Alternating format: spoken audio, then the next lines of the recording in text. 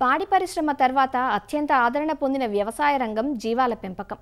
ఒకప్పుడు కులవృత్తిగానే ఉన్నా నేడు వాణిజ్య స్థాయిలో ఫారాల ఏర్పాటుతో ఎందరో నిరుద్యోగ యువతకు ఆర్థిక భరోసాను కల్పిస్తోంది. రైతులు తమకున్న వనరులను అవకాశాలను బట్టి బయట మేపే సంప్రదాయ విస్తృత పద్ధతిని అలానే షెడ్లలో ఉంచి మేపే పాక్షిక సాంద్ర సాంద్ర పద్ధతులను అవలంబిస్తూ పెంపకాన్ని చేపడుతున్నారు. ప్రస్తుత వర్షాకాలం పెంపకదారులకు కొంత గడ్డుకాలమే. ఎందుకంటే మేత కోసం ఆరుబయట తిరిగే జీవాలు పచ్చిగడ్డిని తింటూ గుంటల్లోని నీటిని తాగుతూ జల్లులకు తడుస్తూ ఉంటాయి. ఇలాంటి పరిస్థితుల్లో జీవాలు పలు రకాల రోగాలకు గురయ్యే అవకాశం ఉంటుంది. ముఖ్యంగా చిటుకు గాలికుంటు నీలినాలుక పీపీఆర్ వంటివి ఆశించి జీవాలు చనిపోయే ప్రమాదం ఉంటుంది. మరి వర్షాకాలంలో వ్యాధుల బారి నుంచి జీవాలను తప్పించేందుకు జీవాల పెంపకందారులు ఎలాంటి జాగ్రత్తలు తీసుకోవాలో శ్రీకాకుళం జిల్లా పశుసంవర్ధక శాఖ సహాయ సంచాలకులు డాక్టర్ ఎం ప్రసాదరావు నుంచి ఈరోజు అన్నదాతలో తెలుసుకుందాం. ఈ వర్షాకాలంలో విస్తృత పద్ధతిలో ఆరు బయట గొర్రెలు తిప్పి ఈ గొర్రెలు పెంచే విషయంలో మేత సమృద్ధిగా దొరుకుతున్నప్పటికీ వ్యాధులు ఎక్కువగా సోకే అవకాశం ఈ వర్షాకాలంలో ఎక్కువగా ఉంటుంది.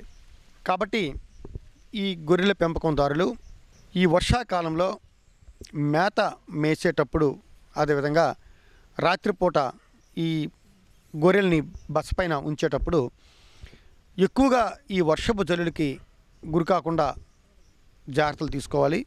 వర్షాకాలం ప్రారంభంలో వచ్చిన తొలకరి జల్లులకి మొలిచిన ఈ పచ్చి మేత తినడం వల్ల ఈ చిటుకు వ్యాధి బారిన పడి ఆకస్మితంగా గొర్రెలు మరణిస్తూ ఉంటాయి. లేత వయసున్న గొర్రెలు ఎక్కువగా ఈ పచ్చిమ తిన్నప్పుడు మరీ ఎక్కువగా ఈ వ్యాధి సోకే అవకాశం ఉంటుంది కాబట్టి తొలకరి వర్షాలకి ముందే ఈ గొర్రెలకు చిట్టుకు వ్యాధి నివారణ టీకాలు అంటే ఈటీ వ్యాక్సిన్ని వేయించాలి.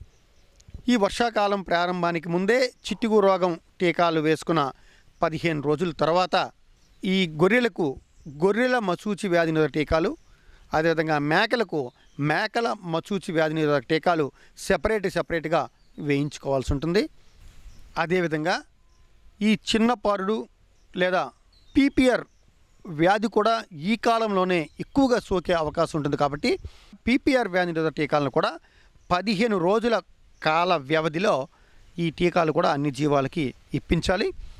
అదేవిధంగా ఈ వర్షాకాలంలో ఈగలు దోమలు అదేవిధంగా బాహ్య పరాణ జీవుల బెడద ఎక్కువగా ఉంటుంది కాబట్టి ఈ బాహ్య పరాణ జీవుల వల్ల వచ్చే ఈ నీలు నాలుక వంటి ఈ సూక్ష్మాతి సూక్ష్మమైన ఈ వ్యాధుల నివారణకు ఈ బాహ్య పరాణ జీవుల నిర్మూలన మందులను కూడా ఈ గొర్రెల సాలల్లోనూ అదేవిధంగా గొర్రెల పైన కూడా పిచికారీ చేయవలసి ఉంటుంది. తర్వాత ఈ నీలు నాలుక వ్యాధి నిరోధక టీకాలను కూడా ఈ వర్షాకాలం ప్రారంభానికి ముందే మనం ఈ గొర్రెలకు ఇప్పించుకోవాలి. ఈ వైరస్ వల్ల వచ్చే పీపీఆర్ కానీ సన్సక్ కానీ లేదా నీలినాలిక లేదా ఈ షీపాక్స్ వంటి ఈ సూక్ష్మాతి సూక్ష్మ జీవులు అంటే వైరస్ వల్ల కలిగే ఈ వ్యాధులకు మాత్రం ఒకసారి మందలో ఈ వ్యాధి ప్రవేశించింది అని వ్యాధి నిర్ధారణ అయిన తర్వాత ఎలాంటి పరిస్థితులు కూడా టీకాలు అనేవి ఇప్పించకూడదు. వైరస్ వల్ల కలిగే ఈ వ్యాధులు వచ్చినట్లయితే ఈ జీవాలను వేరు చేసి సెపరేట్ చేసి వేరే సాలలో పెట్టి వీటికి తగిన చికిత్స చేయించిన తర్వాత వ్యాధి తగ్గిన తర్వాత మాత్రమే ఈ మందులో ప్రవేశపెట్టాలి.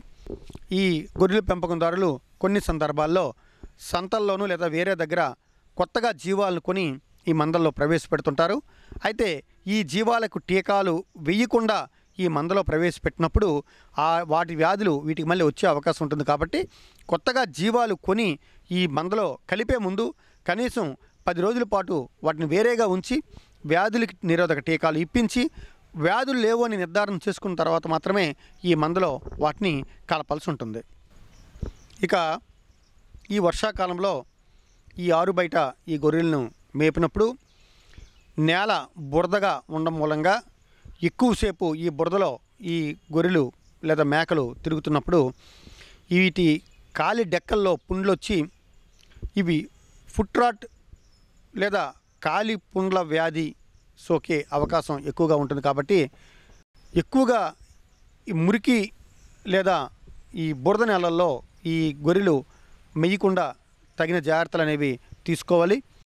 ఈ కాలి పుండ్ల వ్యాధి లేదా ఈ ఫుట్రాట్ నివారణకు టీకాలు లేవు కాబట్టి వీటికి తగిన యాంటీబయాటిక్స్ అదేవిధంగా యాంటీబయాటిక్ క్రీముల్ని పైపోతగా పూచినట్లయితే త్వరితగతిన ఈ పుండ్లు మాడిపోయే అవకాశం ఉంటుంది. అదేవిధంగా బూజు పట్టిన లేదా ఫంగస్ చేరిన ఈ ఆహార పదార్థాలని ఈ గొర్రెలకు మేపకుండా ఉంటే మంచిది కాబట్టి రైతులు ఈ విషయం పట్ల కూడా జాగ్రత్తలు తీసుకోవాలి. ముఖ్యంగా వర్షపు జల్లులకి అదేవిధంగా ఈ వాతావరణంలో తేమకి ఈ గొర్రె పిల్లలు లోనైనప్పుడు వీటిల్లో ఎక్కువగా ఊపిరితిత్తుల వ్యాధులు సోకి మరణాలు అనేవి ఈ కాలంలో ముప్పై శాతం వరకు ఉండే అవకాశం ఉంటుంది కాబట్టి గొర్రె పిల్లలు ఈ వర్షపు జల్లులకి లేదా వాతావరణంలో తేమకి లోను కాకుండా తగిన జాగ్రత్తలు తీసుకోవాలి.